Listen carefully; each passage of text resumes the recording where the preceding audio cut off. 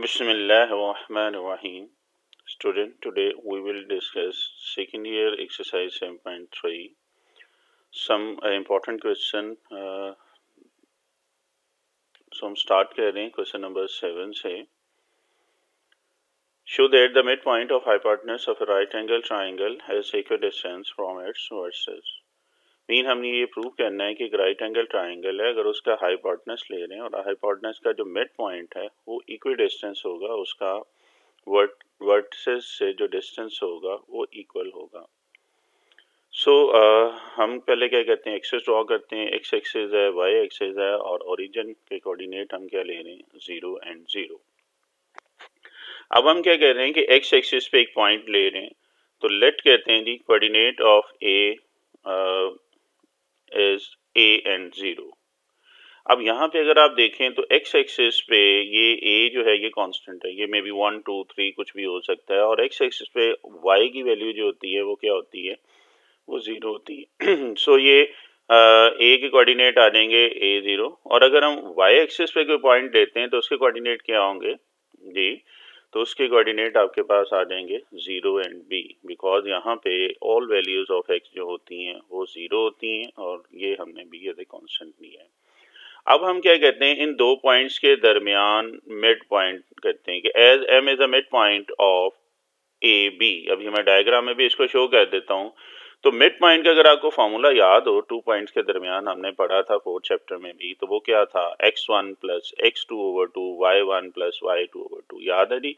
तो ये फार्मूला जैसे अप्लाई कर दें, उसको सिंप्लीफाई कर दें तो आपके पास कोऑर्डिनेट ऑफ़ एम आ जाए। तो अगर डायग्राम में हम देखें तो ये आपके पास एम पॉइंट है, जो कि मिड पॉइंट है ए और बी का। यानी प्रॉब्लम जी।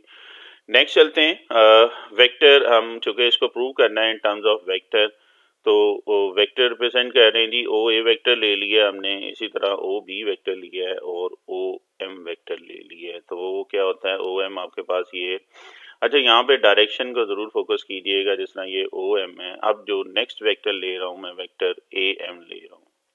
और ए एम किसके इक्वल हो जाएगा? ओ एम में से हम क्या करेंगे? ओ ए को माइनस कर देंगे। तो आप जैसे इसको माइनस कीजिएगा। आई कंपोनेंट और जे कंपोनेंट को सब्ट्रैक्ट कह रहे हैं सिंप्लीफाई कह रहे हैं। आपके पास आंसर आ रहा है ए एम के लिए। अब जो तीसरा वेक्टर निकाल रहे हैं अगेन डायग्राम पे फोकस कीजिएगा तो बी एम डायरेक्शन कौन सी होगी? टूवर्ड्स एम की तरफ़ ये तीनों डायरेक्शन हम ले रहे हैं। तो बी एम अगर हम सॉल्व कर रहे हैं तो वो आपके पास जो वेक्टर आ रहा है, वो इसके इक्वल आ रहा है। तो अभी हमने क्या किया है? हमने तीन वेक्टर निकाल लिए ओ एम ए एम और बी एम एक्चुअली हमने करना क्या है? इन तीनों की मैग्नीट्यूड फाइन मॉडलस फाइन कर लेना कि अगर उसका लेंथ जो है वो सेम आ रही है तो हम कहेंगे कि एम जो है ना, ये इसका इक्वल डिस्टेंस है फ्रॉम एस वर्टेक्स अगर हम बी ए और ज़ीरो की बात करें। तो अब हम सिंपली क्या करेंगे? वन टू और three one O M A M और बी एम ये थ्री जो हैं, इनका मॉडलस निकाल लेते हैं। तो आपके सामने तो ओ एम में मॉडल्स में क्या होता है? आई कंपोनेंट का स्क्वायर आ जाता है जे कंपोनेंट का square and whole under root याद है? ये फॉर्मूला हमने थ्योरी में भी डिस्कस किया था। अब जैसे इसको सिंप्लीफाई करें एलसीएम लीजिएगा और फोर का अंडर रूट आपके पास क्या आ जाएगा? Two so this is your equation number one अब जो दूसरा वेक्टर लिया था, उसका मैग्नीट्यूड निकालते हैं। ए एम में real I component square J component square simplify करें तो आप देखेंगे सेम आंसर आ रहा है। एंड देन थर्ड जो हमने वेक्टर लिया था, उसका मैग्नीट्यूड निकाल रहे हैं तो आप देखेंगे इसका आंसर भी सेम आ रहा है। So you can see that from equation one two and three कि आपके पास क्या हुआ है कि ये O M magnitude A M और बी एम ये इक्वल डिस्टेंस आ गया। और अगर इक्वल डिस्टेंस है तो हम कह सकते हैं कि so that the mid point of hypotenuse of right triangle is equal distance from its vertices simple prove था। तो ये जस्ट तीन वेक्टर डायग्राम ज़रूर इसकी बनाइएगा, इसको ध्यान में रखेंगे तो ये प्रूव हो रहे हैं। नेक्स्ट जो प्रूव है अगेन इंपॉर्टेंट प्रूव है। और ये है prove that the perpendicular bisector of the sides of a triangle are congruent perpendicular bisector का मतलब है कि जब वो बाइसेक्ट कर रहा है तो दोनों तरफ़ जो साइड होगी, वो इक्वल होगी। सो हम इसको स्टार्ट करें बड़े एक सिंपल वे में, एक ट्राइंगल लेते हैं, जिसके वर्ड्स ए बी सी लेने हैं और उसकी पोजीशन वेक्टर हम क्या करें अगर ए है तो ए पोजीशन वेक्टर है बी के लिए बी और सी के लिए सी और इसको डायग्राम ज़रूर मेंशन कीजिएगा। तो डायग्राम में भी मैं आपके सामने ये कह रहा हूँ ए बी और सी वेक्टर ले लिए। ठीक है जी? अब इसमें हम क्या कह रहे हैं? इनके मिड पॉइंट की बात कर रहे हैं। तीनों साइड के मिड पॉइंट ले रहे हैं। अगर हम बी सी की बात कर रहे हैं ए सी की बात कर रहे हैं और ए बी की बात कर रहे हैं तो डी ई एफ़ इसके मिड पॉइंट ले लिए। अब हम क्या कहते हैं? इनके जो मिड पॉइंट फॉर एग्ज़ाम्पल यहाँ पे अगर डी है तो इसका कोऑर्डिनेट फाइन कहते हैं। और ये क्या आ जाएगा? कोऑर्डिनेट तो जब मिड पॉइंट का फॉर्मूला दोनों को ऐड करके टू पे डिवाइड कर लेंगे। So position vector of D as B plus C over two similarly second हम मिड पॉइंट फाइंड करते हैं जो आपके पास क्या आ जाएगा? A plus C over two and lastly आपके पास थर्ड मिड पॉइंट है जिसको हमने एफ़ का नाम दिया है तो इनको आप टू दोनों को ऐड करके टू पे डिवाइड कर लेंगे। तो आप देख सकते हैं जी इन आ, तीनों के पोजीशन वेक्टर हमने निकाल लिए यहाँ तक कोई मसला। ओके अब यहाँ पे अगर आप देखें तो तीन आपको परपेंडिकुलर नज़र आ रहे हैं। कौन कौन से? ओ डी है ओ ई e है और ओ एफ़ है। अब करना क्या है? बड़ा सिंपल सा है कि दो परपेंडिकुलर ले लेने हैं, उनके रिजल्ट्स को कंपैरिजन करना है और थर्ड परपेंडिकुलर को प्रूव कर देना है। तो आप कोई से भी स्टार्ट कहीं से भी स्टार्ट कर सकते हैं। मैं यहाँ पे स्टार्ट कर रहा हूँ कि ओ डी जो है, ये परपेंडिकुलर किसके है? बी सी के। इसके लिए सबसे पहले इनकी ज़रा डायरेक्शन निकाल लेते हैं। मीन वेक्टर निकाल लेते हैं। अगर बी ए की बात करें तो डायग्राम देखें। काइंडली इसके एरोज ज़रूर कीजिएगा। तो बी ए क्या आ जाएगा? O A minus O B और you can say that this इसी तरह दूसरी साइड हम पहले फाइंड कर लेते हैं बी सी है इसमें लाफ ट्राइंगल यूज़ करेंगे कि दो ट्राइंगल की डायरेक्शन एक साइड पे होगी और तीसरी दो साइड की डायरेक्शन एक साइड पे और तीसरी इसकी अपोजिट होगी। हमने लाफ ट्राइंगल थ्योरी में पढ़ा था, अगर आपको याद हो तो अगर आप देखें तो इन दोनों की डायरेक्शन सेम है और थर्ड की जो अपोजिट अब चीज़ ज़रूरी नहीं, आपने यही लेनी आप डायरेक्शन कोई और भी ले सकते हैं। मीन इन दोनों की सेम ले लें, लेकिन थर्ड वन को आपने क्या करना है? अपोजिट करना है। तो इसमें रट्टा लगाने की ज़रूरत नहीं। तो इस स्लाइड पे अगर हम देखें तो हमने तीन मिड पॉइंट के कोऑर्डिनेट निकाल लिए हैं और तीन साइड्स निकाल हैं। सिक्स एरो नज़र आ रहे हैं और सिक्स टोटल चीज़ें मैंने यहाँ पे निकाल दी हैं। ठीक है? साथ साथ इसको जैसे देखते भी जाएँ, याद भी रखते जाएँ, ताकि जब नेक्स्ट टाइम करें तो आपके लिए प्रॉब्लम ना हो। अच्छा जी, अब बात उसी पे आते हैं कि इसके तीन परपेंडिकुलर हैं। कौन कौन से हैं? ओ डी ओ ई और ओ एफ़ तो पहले मैं स्टार्ट कर रहा हूँ perpendicular starting from O D so O D is perpendicular to किस वेक्टर के परपेंडिकुलर है? बी और सी के। ये ओ डी वेक्टर है और ये कहाँ पे परपेंडिकुलर है? बी और सी के। और आपको याद होगा कि अगर दो वेक्टर परपेंडिकुलर हैं तो उनका डॉट प्रोडक्ट जो है वो किसके इक्वल होता था? जी शाबाश, जरा याद कीजिएगा, हमने ये पहले पढ़ा हुआ है। जी तो इसका जो डॉट प्रोडक्ट होता है वो इक्वल टू ज़ीरो होता है। गॉट इट अब हम क्या करेंगे? ओ डी भी हमने निकाला हुआ है बी सी भी निकाला है। कहाँ पे? इक्वेशन वन एंड फाइव में। तो जस्ट ओ डी और बी सी की वैल्यू रखिएगा। ये टू डिवाइड हो रहा है, ये उधर जाके क्या हो जाएगा? मल्टीप्लाई हो जाएगा ज़ीरो ही रहेगा। इन दोनों को डॉट मल्टीप्लाई करें और सिंप्लीफाई करेंगे। आपके पास ये आंसर आ रहा है। तो मैंने क्या किया है? अभी पहला परपेंडिकुलर लिया है। अब मैं दूसरा परपेंडिकुलर आप कोई सा भी चूज़ कर सकते हो, मैं जो चूज़ कर रहा हूँ, वो ओ ई कर रहा हूँ। पहले मैंने ओ डी किया था, मैं ओ ई कर रहा हूँ, और same procedure O E perpendicular अगर हम देखें तो ये सी ए के परपेंडिकुलर है। इन दोनों की डॉट प्रोडक्ट कीजिएगा इक्वेशन टू और सिक्स से वैल्यू रिप्लेस कीजिएगा, और आप देखेंगे आपके पास दूसरी इक्वेशन आ गई। अच्छा हमने क्या किया है? जब दो परपेंडिकुलर लिए एक्चुअली अब हमने क्या करना है? तीसरा परपेंडिकुलर प्रूव करना है कि वाकई तीसरी जो ये ओ एफ़ जो है ये परपेंडिकुलर है किसके बी ए के। तो हम इन दोनों रिज़ल्ट को यूज़ कर रहे हैं जी। मैं दोबारा से अब आगे चाह रहा हूँ। इक्वेशन हमारे पास एक तो सेवन आई थी और एक एट आई थी। हम क्या कह रहे हैं? जो आ, इन दोनों को ऐड करते हैं। ऐड करेंगे तो सी स्क्वायर कैंसिल हो रहा है। दोबारा कन्वर्ट करेंगे इन डॉट प्रोडक्ट और टू से डिवाइड कर देंगे क्योंकि दूसरी तरफ़ ज़ीरो है तो टू से डिवाइड करते हैं तो कोई प्रॉब्लम हमें नहीं होनी चाहिए। ओके जी? नेक्स्ट चलते हैं। आप इक्वेशन थ्री एंड फोर में हमने ये वैल्यू निकाली हुई थी वेक्टर निकाले हुए थे। तो इसका मतलब क्या हुआ कि जी ओ एफ़ जो है ये परपेंडिकुलर आ गया है बी ए के। तो दो हमने ले लिए हैं और तीसरा उनके रिज़ल्ट से प्रूव कर दिया है। सो करके आप लिख सकते हैं perpendicular bisector of the sides of a triangle are congruent तो सिंपल प्रूव था। आपसे रिक्वेस्ट है कि डायग्राम और ये एरोस को ज़रूर फॉलो कीजिएगा। नॉर्मली की बुक वगैरह में, ये एरो वगैरह नहीं देता, चूँकि हम वेक्टर कर रहे हैं, इसलिए ये बहुत इंपॉर्टेंट है इनकी डायरेक्शन जो वेक्टर की। नेक्स्ट चलते हैं जी नेक्स्ट प्रूव से मिलता जुलता है कि ऑल्टीट्यूड आपने फाइंड करनी है। पिछले में हमने क्या किया था बाई सेक्टर किया था तो ऑल्टीट्यूड में उसी तरह सेम स्टार्टिंग में कह रहा हूँ कि ए बी सी एक ट्राइंगल ली है, जिनके वर्सेस पोजीशन वेक्टर्स जो मैंने ले लिए हैं ए बी एंड सी लिए तो यहाँ तक ये सेम था। अब उसी तरह आपको याद होगा, पिछले क्वेश्चन में भी हमने तीन साइड्स यानी कि तीन वेक्टर निकाले थे तो A B vector again direction आपके पास लॉफ ट्राइंगल आप देख सकते हैं, मैं यूज़ कर रहा हूँ, दो की डायरेक्शन दो साइड की डायरेक्शन सेम है और थर्ड की अपोजिट है।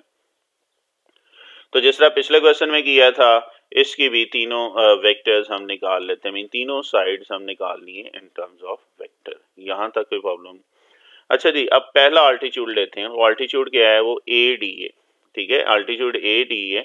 अच्छा वहाँ पे बाइसेक्टर था तो दोनों साइड पे डिस्टेंस सेम था तो हमने मेड करके निकाल लिया था, लेकिन अल्टीट्यूड में अब ज़रूरी नहीं है कि ये इक्वल है। देखें, इस तरह साइड कम भी हो सकती है इस तरह ज़्यादा भी हो सकती है।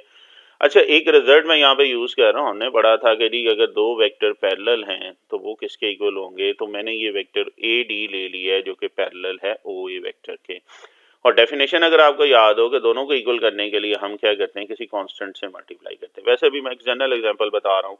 फॉर एग्जांपल मैं ये कह रहा हूँ ए और डी का टोटल डिस्टेंस जो है वो हंड्रेड है और ओ ए का फिफ्टी है। तो हम ओ ए को किससे मल्टीप्लाई करेंगे कि ये दोनों आपस में इक्वल आ जाए जी जी, इसको फिफ्टी से मल्टीप्लाई टू से मल्टीप्लाई कर रहे हैं।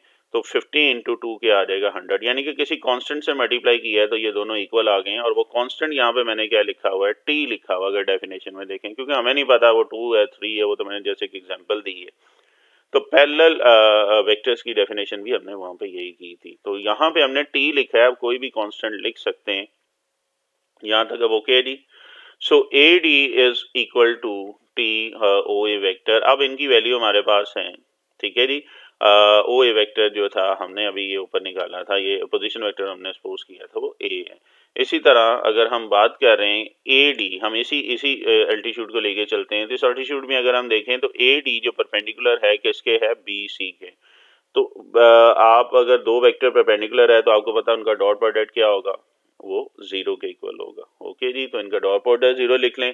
अच्छा जी, अब दोनों वैल्यूज़ लिख लें। ए डी भी आपके पास है बी सी भी है। इक्वेशन कौन कौन सी हम यूज़ कर रहे हैं? मैंने इसलिए नेम दे दिया अगर नेम दे देंगे तो मेंशन करते हुए इजी होगा। बाद में भी जब आप पढ़ेंगे तो आपको याद आ जाएगा। सेकेंडली फिर चेकर के लिए बड़ी आसानी होती है कि अच्छा प्रेजेंट कर रहे हैं। तो इक्वेशन वन एंड फोर को हम यूज़ कर रहे हैं। अच्छा ये टी कांस्टेंट है उधर जाके ये ज़ीरो से डिवाइड होगा तो खत्म हो जाएगा मीन ज़ीरो ही रहेगा। आप इसको डॉट मल्टीप्लाई कर लें और say this is your equation number five तो मैंने अभी क्या किया है एक अल्टीट्यूड दिया है जिससे मैंने ये दो आ, ये रिज़ल्ट निकाला है मीन इक्वेशन नंबर फाइव निकाली अब वही मेथड जो हमने पिछले में किया था, वहाँ पे बाई सेक्टर लिए थे दो और तीसरा उनसे प्रूव किया था। यहाँ पे भी दो अल्टीट्यूड ले रहा हूँ मैं। एक पहले अल्टीट्यूड ए डी लिया है। अब मैं जो अल्टीट्यूड सेलेक्ट कर रहा हूँ, वो कर रहा हूँ बी ई ये वाला। डायरेक्शन अगेन देखिएगा जी। तो B E is two O B और यहाँ पे मैंने कांस्टेंट टी की जगह क्या कर दिया? लेमडा पुट कर दिया। ठीक है कांस्टेंट आप डिफरेंट कर लें।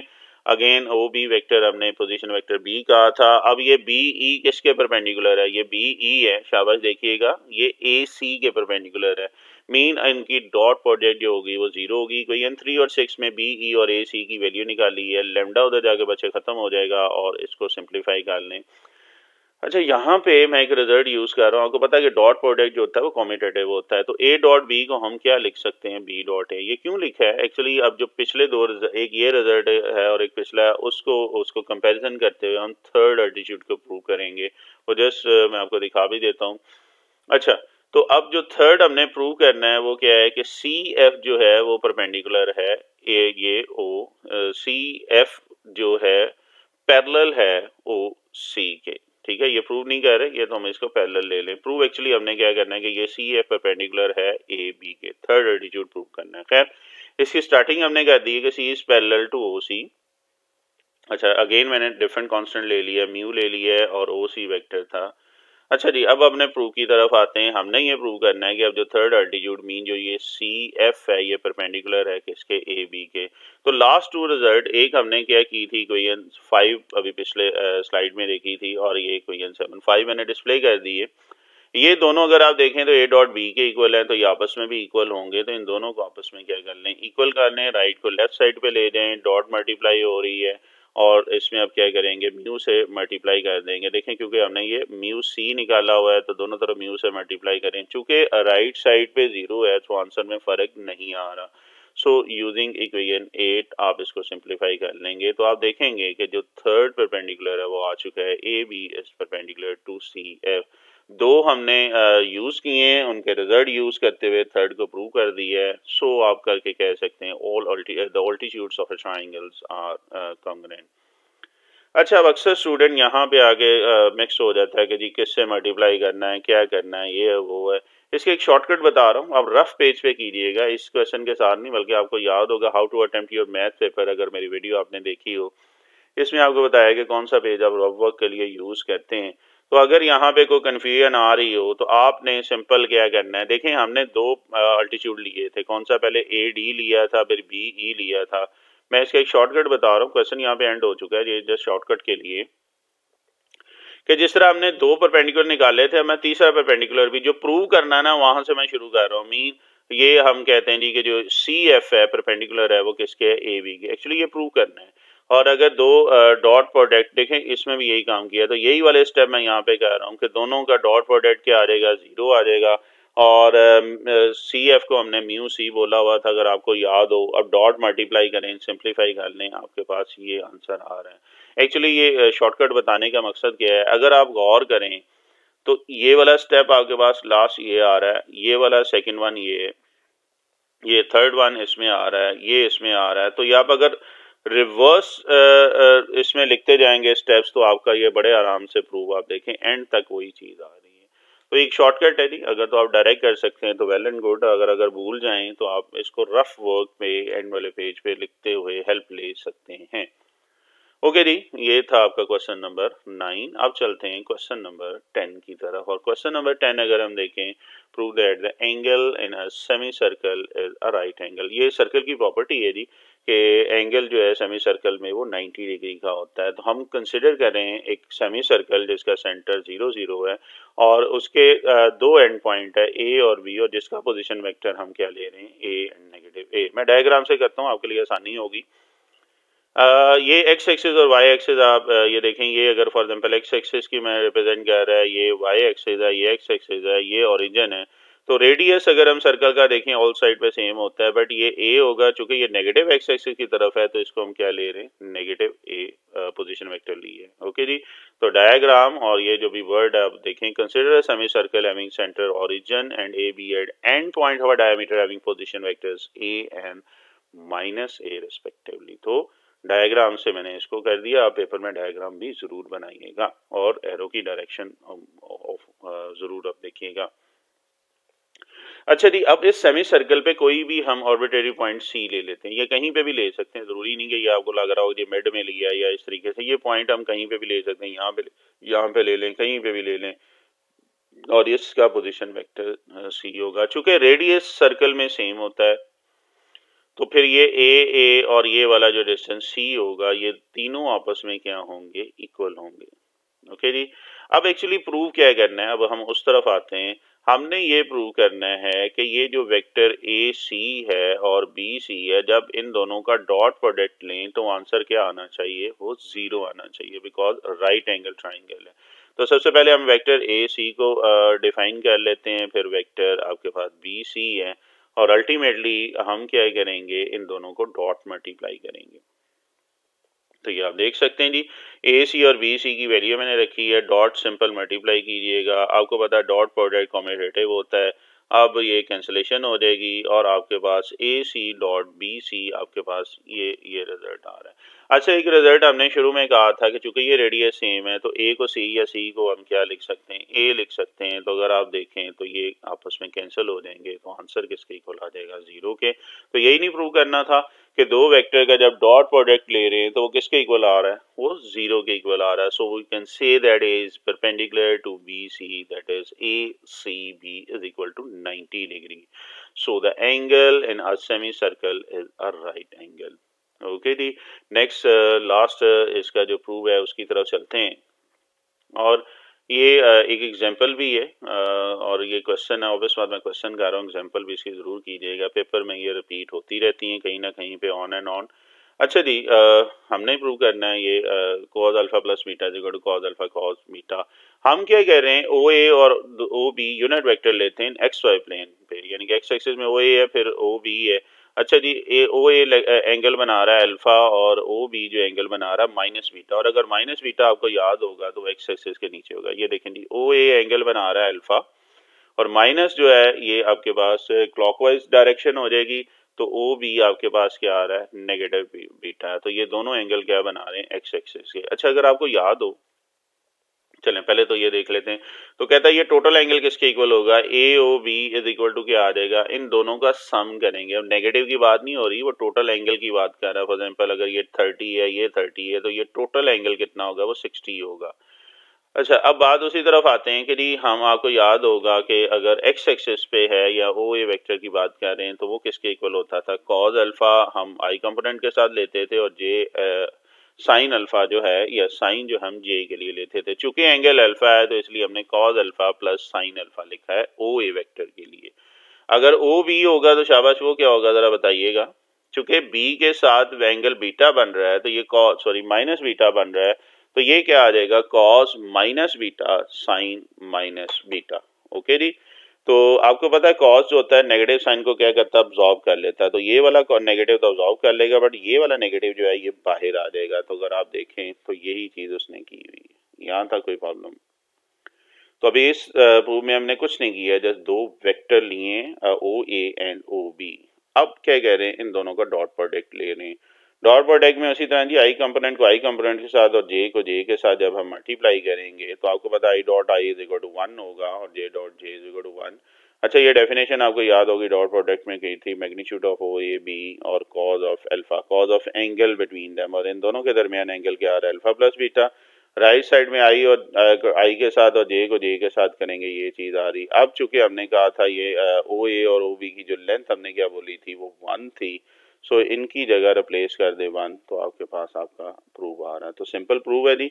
एक एग्ज़ाम्पल है इसकी वो ज़रूर कीजिएगा। होपफुली आज का लेक्चर आपके लिए फ्रूटफुल होगा। इनशाला नेक्स्ट लेक्चर में आपसे मुलाकात होती है।